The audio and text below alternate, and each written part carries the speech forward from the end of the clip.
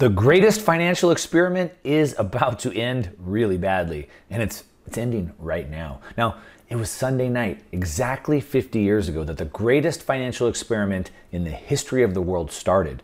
That night, over 5,000 years of money as we knew it were gone, and the entire world changed. As with most experiments, no one was sure or certain how things would play out, but today, with 50 years of testing, in hindsight, we can see just how disastrous this experiment has been. Now, in this video, I'm going to cover what exactly happened 50 years ago, what has happened during this experiment. We're going to take a look at the actual data, the facts, the numbers, and of course, most importantly, using history of this change and the experiment as our guide and our lens, we're going to look at what's happening right now that tells us what exactly comes next, and how understanding this shift today is the key for you surviving and thriving as the world's greatest financial experiment comes to an end. And the next one starts. So let's go. All right, we're gonna jump right into it. We're gonna talk about the experiment, the financial experiment and what the results have been and how it's coming to an end. Now, real quickly, um, if you don't make it to the end, I want to let you know that I am going to do a live presentation of this where I'm going to break down part of what we're talking about here, but really all the implications of what's happening right now, how it's all coming apart right now, and more specifically, what is the next system that we're expecting to move into. So there's a live presentation. There's a link in the description down below if you'd like to come attend. It's, it's going to be long, which why I can't cover in a YouTube video, but click on that link down below in the description if you want to come to that live event.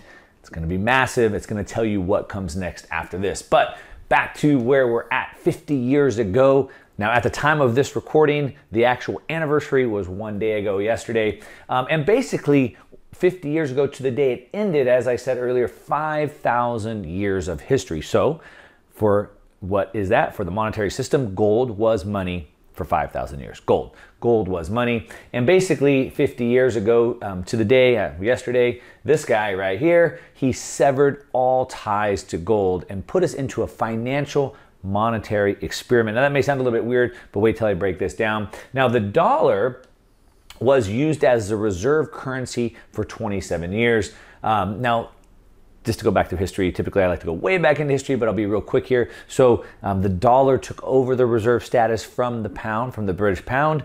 Um, in 1944, the Bretton Woods Agreement got together. The world leaders all got together and agreed that there would be a new financial system, 1944 Bretton Woods Agreement, a new financial system where the dollar would be pegged to gold, $35 equaled one ounce of gold, and then all the other currencies of the world would peg to the dollar. So thereby the entire world was on a gold standard. Now that lasted only 27 years before that got severed. All right, 27 years. and it's been about 50 years since of fiat money, right? That's when the experiment ended. We severed ties to gold, which was money for 5,000 years. And so for 50 years now, we've been in what's known as fiat currency, which means money by decree, means the government says it has value, so it does. And that is just a small little blip in history. 50 years is nothing in the grand scheme of things. Now, uh, I want to talk specifically about what pre- uh, President, then President uh, Richard Nixon said in his speech. Um, and so before we dive into what he actually said, let's go right to the video. The strength of a nation's currency is based on the strength of that nation's economy. And the American economy is by far the strongest in the world. Accordingly, I have directed the Secretary of the Treasury to take the action necessary to defend the dollar against the speculators. I have directed Secretary Connally to suspend temporarily the convertibility of the dollar into gold or other reserve assets, except in amounts and conditions determined to be in the interest of monetary stability and in the best interest of the United States. All right, so you heard it right from him first. Now, a couple things I want to pull out. So, first off, he said that the strongest currency equals the strongest economy, which, yeah, I would, uh, I would say that. Now, I might say, what is the strongest? What does it mean by the strongest? Well, I would say sound money would be the strongest, but strongest currency, strongest economy. Um, he said at the time, 1971, America is the strongest economy. Now, is it the strongest economy anymore? We're going to look at some data about that. He said that the dollar is the monetary pillar all the way around the world, which because since 1944, the entire world was pegged to the dollar. So, of course, it was that. He said that they needed to do this, they needed to sever the ties specifically for this. defend the dollar against speculators. Now, what does that mean? Well, what that means is that since 1944, the dollar was supposed to be $35 convertible, $35 for one ounce of gold. But everybody knew that the United States was creating more dollars than they had gold. And so what happened is the speculators, these evil speculators, were saying, hey, we don't believe you have the dollars or the gold to back this up. We don't believe this peg is valid. We want the gold. We don't want the dollars, we want the gold. And then what happens because people try to protect the peg is speculators come in and start betting against that peg. Uh, go watch this uh, George Soros video I did right here where I talked about how he made a billion dollars in a day breaking the peg of the Bank of England. Um, and so speculators were doing that, and so they had to defend the dollar. Well, if they had just stuck to the agreement, which was to only have enough gold and dollars to um, back each other, they would have never had to defend anything. The speculators saw an opportunity because they knew the government was lying. Anyway, there's that. Um, and so he said that they were going to temporarily, I put that into quotes, temporarily suspend convertibility of the dollar. Of course, uh, it was uh, Milton Friedman who said that there's no such thing as a g- temporary government measure. And so temporarily suspended, of course, there's no way it's ever going back at this point. Um, and then Treasury Secretary John Connally said at the end, said, I will be perfectly frank with you. None of us know for certain what will occur. We're going into this financial experiment. Gold has been money, sound money for 5,000 years. We're going into this age of free floating currencies, and none of us know for certain what will occur. All right, now there's a couple key pieces that I want to dig into here. All right. Um, he said that the time has come for a new economic policy for the United States. Of course, it changed everything. Um, its targets are unemployment, inflation, and international speculation. So, um, this is what he was supposedly going to fix. Of course, is unemployment better today or is it high? Is inflation fixed or is it high? And of course, do we still have lots of international speculation? Those are the key pieces that we want to dig into here. Now, um, let's take a look at 1971, or let's go to 1970, the year before, and compare that to now. Now, the first thing I want to bring into uh, in, bring up is that wealth is not money. All right. So a lot of people think that the government just create more wealth, they just print, print more money, send money to everybody. Money, currency is not wealth. Wealth equals goods and services. I use this analogy a lot if you watch my channel. If we are stuck on a deserted island with no boat, no way to get off, no food, no water, no cell phone to call for help, but we had a billion dollars in a suitcase, would we be wealthy? Well, there's nothing to spend it. There's no goods and services to buy, and that would be worth nothing. Now, what if there was one guy that was there that had a hut with some shade and some coconuts? Well, he would be wealthy.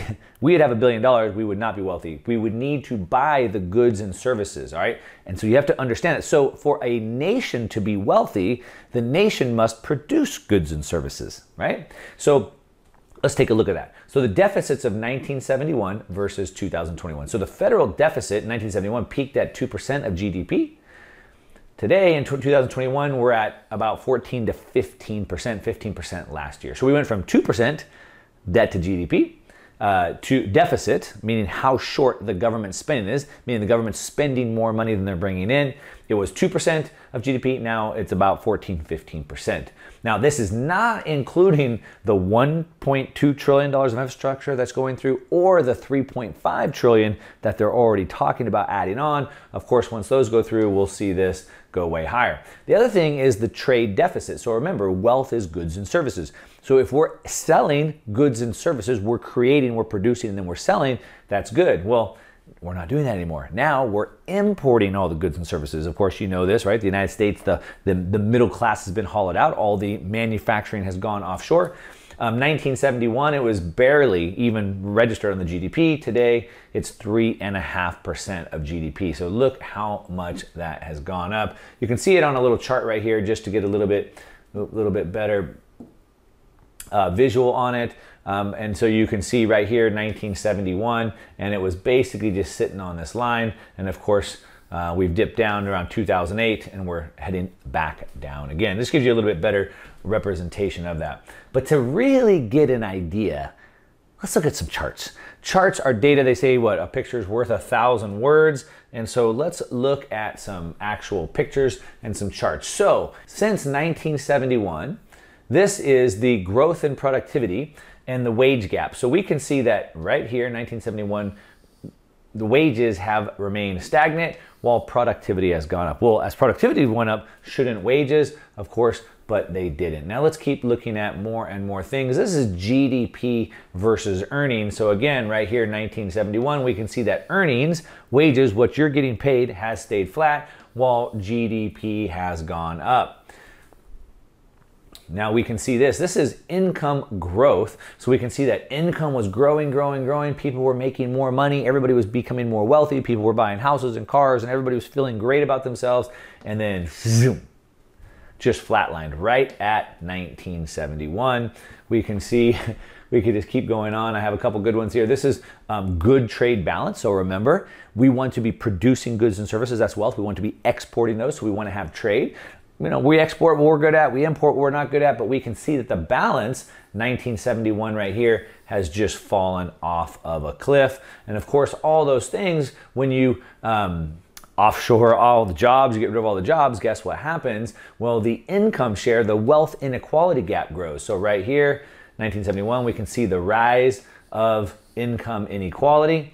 Um, this was right around 19, uh, this is the, around the Great Depression right here, so it was kind of a little bit higher things were pretty good. And then since 1971, it's absolutely exploded. Now, it's no reason or it's no wonder that uh, the wealth inequality gap has gone up because if we look at 1971 right here, this is household essentials. So this is your electricity, your food, your fruit, and you can see how far it's gone up. Now these are essential. So when you make a billion dollars, you know, the amount of food doesn't change. Like a poor person and a rich person eat about the same amount of food. Sure, the quality of their food might be a little bit different, but the amount of food they consume is the same, but the percentage of their overall budget is different.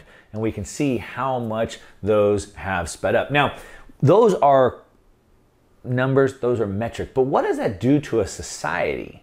That's pretty interesting. So look at this. So this is 1971 right here. This is the incarceration rate. So for some reason, the incarceration rate just was managing to stay pretty flat. Now, of course, this was we had prohibition where um, alcohol was illegal. Uh, we had lots of gangs and things like that. Um, but it all stayed pretty flat. And then 1971, you can see they just completely went off the chart. So that's what happens to the society when the money falls apart. Here's a couple more charts we can look at. This right here is the divorce rate. They were all kind of tied together. 1971 absolutely exploded. Now, why would having a bad money cause the divorce rate to increase? Well, there's a bunch of reasons, but maybe the number one reason is because what are most divorces about? Well, people fight over money. When it becomes very difficult to live, when you can't afford your bills, it puts a lot of stress. It causes a lot of arguments, a lot of fights. Now, two people have to go out into the workplace at once. Um, they're not growing together, they're growing apart. And we can see that with data. We can also see the percentage of children born to unwed mothers, again, had stayed pretty flat. 1971 happened, and you can see they go off the chart. We can also see the trends in obesity. So obesity was staying pretty flat. 1971 comes into place, and people start getting fat. they become obese all because of the money. That's why when we talk about fix the money, fix the world, you can see this in some charts.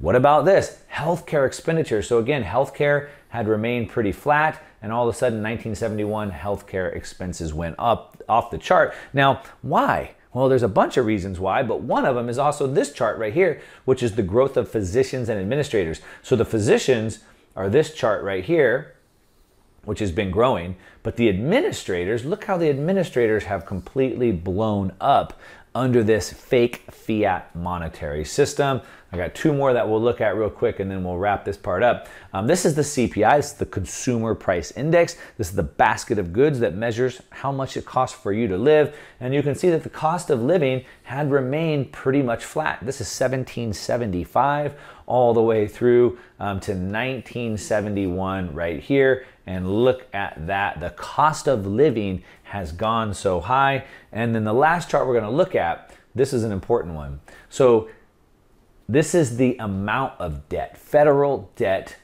total public debt. Here we have about 1950 or 60. You can see it remained pretty flat. 1971, and now we can look at the amount of debt. This is over the last uh, year right here.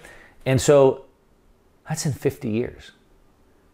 Under this monetary experiment, in just 50 years, everything has fallen apart. You can see for 100 years before, in many cases, that things had remained pretty steady. And within 50 years, we've gone to 0% interest rates, uh, hundreds of trillions of dollars of debt. All of society fabric is breaking down. That's the result of the monetary experiment. All right, now, um, when we severed gold, obviously you can see it changed everything. Because when we were tied to gold, it limited the government on how much they were able to print. Now, um, something, uh, a side note about this is that everything is about limiting the government. The problem is that the government is run by people, it's run by man. Man is flawed, um, and, and, and, and the type of people that are attracted to politics are typically not the best type of people. And so they're always going to try to game the system. They're always going to try to be selfish and look out for themselves. And so the law, the reason why we need gold was to restrain the government. It would keep them from printing more money than they had gold. Same with the Constitution. Uh, a lot of people you'll see in the news in the headlines today, they're saying that the Constitution gives us freedoms, gives us liberties. The Constitution doesn't allow this freedom. That's completely wrong. The Constitution limits the governments. All our freedoms are guaranteed. They're given to us by our Creator. The Constitution limits the government, just like gold was supposed to do that. But when we severed the ties back in 1970, we ended commodity money. So gold is a commodity, gold and silver being a commodity. And because they're limited, because they're real, because they're tangible, it limited how much money could be created, created, and so it moved to that fiat money, which, uh, like I said, instead of the market determining that there was value there, and so money's changed a lot of times. We had feathers and we had shells. Whatever the market deemed valuable could be used as money. But now fiat says it's not what the market says; it's by decree because the government says it has value. It does. And now it's all based on information. So let's talk about that. Let's talk about where we're going next. All right. Now, first, before we do that, we have to understand that the reserve currency, the dollar, is dying. it's not just dying on its own, it's actually being killed because of poor management. All right, no different than from the beginning of time. So, 1913, the Federal Reserve was created, the central bank, um, and the IRS was created at the same time, and they started printing too much money right off the bat, 1913. By 1933, they had created so many additional dollars that they had to shut all the banking down and then seize everybody's gold. They needed more gold. Then they had to revalue it from about from about $20 an ounce to $35 an ounce, stealing all the wealth from everybody because they had poor management. So they kind of fixed it in 1933, revalued at $35. By 1944, they went into the Bretton Woods Agreement, still at $35. But as I said earlier, in 27 years, they couldn't protect the peg.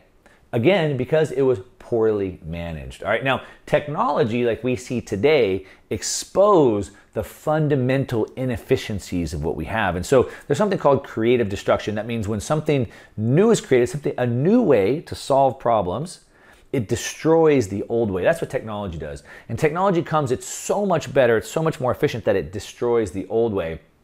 And what we're going to see in the future is technology will move money away from nations, away from central banks, away from governments, and instead we'll see more like private innovative currencies. Now, the system's already changing and it's changing fast. Of course, unless you've been asleep like Rip Van Winkle forever, you know that the rise of cryptocurrencies are here. Whatever you think about them doesn't change the fact that they are here. But I want you to be aware of something something known as the patsy. Do you know what the patsy is? That means when somebody is set up to take the fall, right? So um, a lot of times that's been done. I'm not going to get into conspiracies about that, but the patsy. And so we're starting to see maybe cryptocurrencies might be set up to take the fall, could be the patsy. And so what we're seeing is regulators are starting to come in. I've done a couple videos on this infrastructure bill and how they want to start to regulate cryptocurrencies even more. We have the new head of the SEC, Gary Gensler, who was supposed to be pro crypto. He was teaching about Bitcoin and cryptocurrencies at MIT. He knows it very well.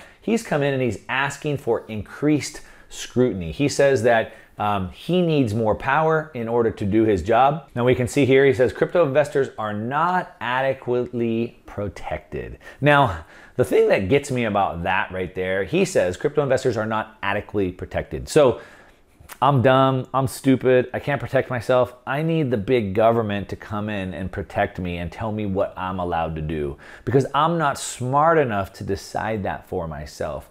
We're not adequately protected. We're not protected from putting our money into things. Now, they don't protect us from putting our money into lotteries or putting it all on, in Vegas, But supposedly in the cryptocurrency space, we're not adequately protected, so he wants to change that. The priority should be center on crypto trading, lending, and DeFi, decentralized finance platforms. Attach guardrails to crypto trading and lending. So that's really where they're coming after. Lending, of course, why would they do that? Well, if you put your money in the bank, you earn no interest if you take your money out and put it into cryptocurrencies and operate in some of these DeFi crypto lending spaces, you could earn 6, 8, 10% on your money. So guess what? A lot of people want to do that. Why would I make zero when I can go make 6, 8, 10%? So a lot of people are.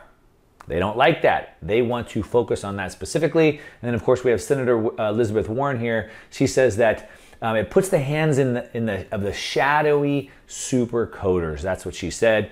And she said they will wreck the financial system. So they're setting cryptocurrencies up to be the patsy, to be the fall guy. The financial system's already fallen apart. It's been falling apart for 50 years. I showed you the data. It doesn't have much further to go. The whole thing is cracking apart on its own. Left on its own, it crumbles.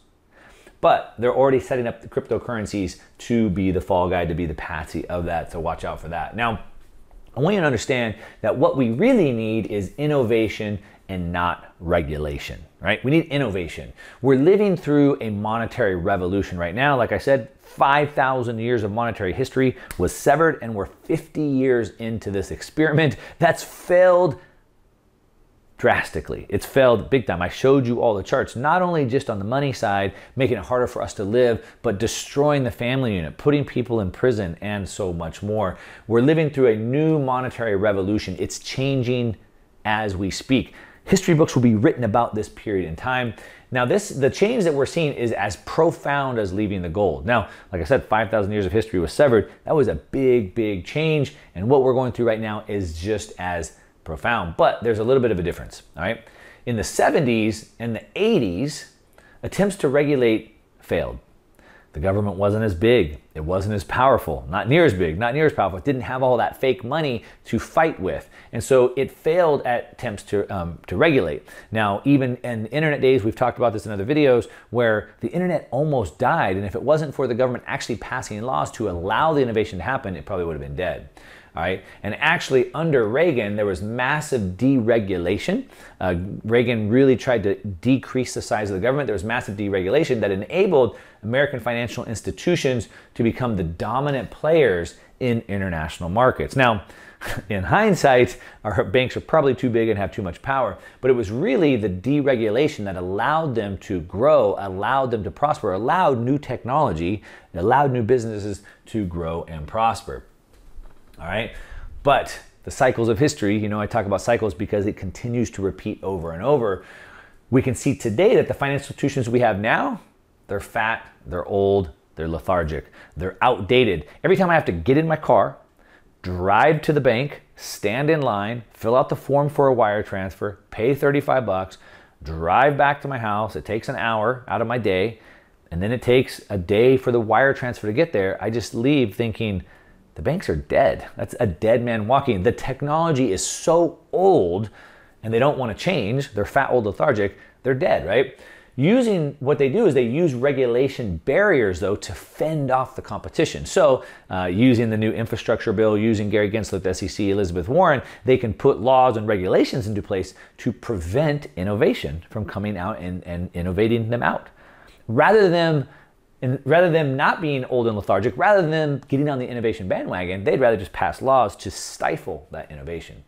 Uh, the other thing is that the US is trying to compete on central bank digital currencies, and I believe that leads to failure because that's central planning, right? So China is coming out with their digital yuan. I've made videos talking about how the United States is coming out with their Fed coin, trying to compete on a central bank digital currency, but that is centralized answer. Centralization always fails. America has been great because America has been where the innovation is. China has been stealing the innovation from the United States for decades because they can't out innovate.